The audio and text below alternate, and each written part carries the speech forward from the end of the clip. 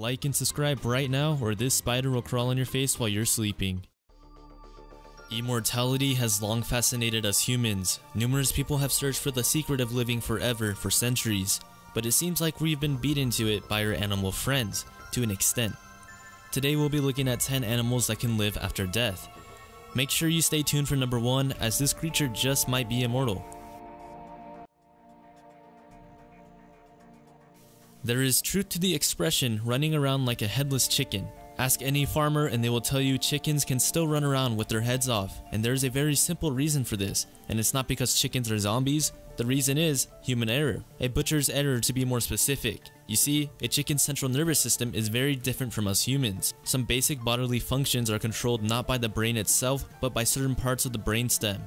So what does this all mean? Well, if a butcher chops a chicken's head too high, most of the time it's just the forebrain of the chicken that comes off with the head, leaving the brainstem intact. And if the butcher also misses the jugular, not only will the chicken continue to move, it sometimes can still breathe. Of course, it will eventually starve to death, but that is one special case that a chicken that survived 18 whole months without its head.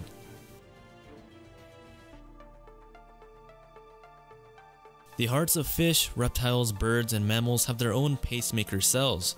They take over when the signals of their brainstem are not coming through for some reason, which ensures that their hearts still function for a while even after the brain does not. These animals can die for a very long time, but for how long? Well, 5,000 hours.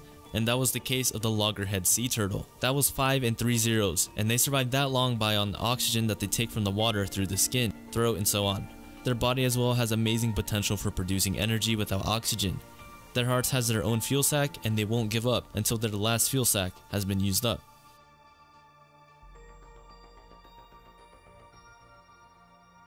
Chopping these things heads off may seem like a peaceful way to avoid getting bitten, but the truth is that may not be the case.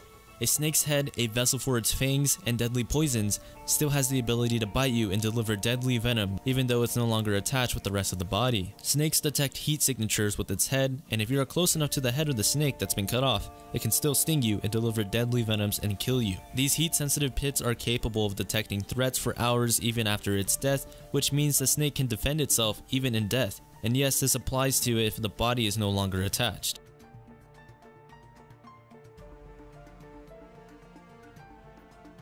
It has been discovered that frogs continue to move around even after they are brain dead, or more accurately, its brains missing. This experiment was brought about when scientists discovered reports of various headless animals continuously to move about, and it's impressive on its own, but let's face it, there's only so much a creature can do without its head.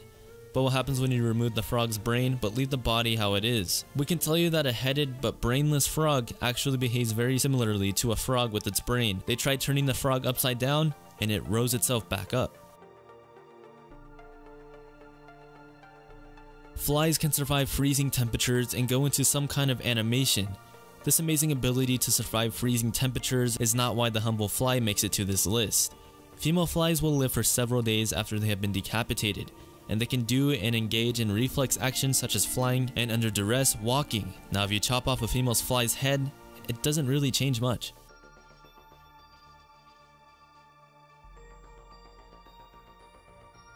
I'm pretty sure you've seen videos online where an octopus, after being chopped up, continues to move. Now in fact, in certain Asian countries, eating fresh octopus is a deadly delicacy.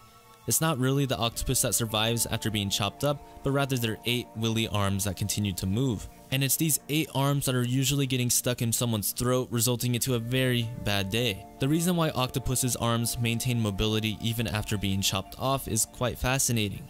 It's because their central nervous system is quite unique.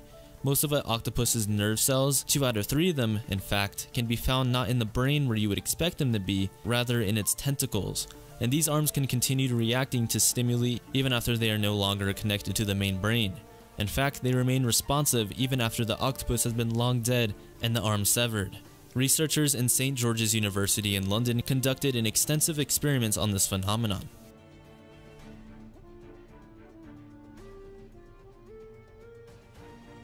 It shouldn't come as a surprise that these tiny little bugs would make it to this list. Cockroaches are infamous for their tenacity and are often cited as the most likely survivors of a nuclear war. Some even claim that they can live without their heads. Well, surprise, they can live without their heads. In fact, they can go on living for weeks. To understand how these bugs can survive decapitation, first we must understand how we fragile humans couldn't. First of all, humans bleed, and when a man's head comes off, it bleeds a lot. Cockroaches doesn't have that problem though. They have an open circulatory system, which translates to little to no blood, so if their head's chopped off, the wound just closes naturally due to clotting. And secondly, and probably obviously, human heads hold quite a bit important part of our body, our brain, and without it, humans will not function. Eating, drinking, and breathing are all impossible without the head. Cockroaches, on the other hand, don't need their heads to breathe, as they do this process through little holes located on their bodies called spiracles.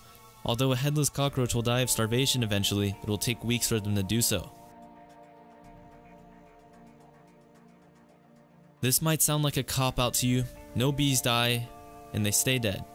However, there is a reason why they appear on this list, because even though a bee might be dead, it can still sting you. Not in the way you think of course, dead bees obviously go fly around and actively sting you. It's that their stinging parts and more importantly their venom delivery system will still work even if the bee is long dead. When a bee stings, the sting detaches from the body, leaving it embedded into the skin of the victim. Attached to the stinger is a tiny organ that both contains the bee venom and a tiny muscle that pumps the venom out. Due to the simple physiology of bees, these actions are not controlled by the bee's simple brain, but rather by involuntary impulses. So if you think that you're safe picking up a dead bee, think again.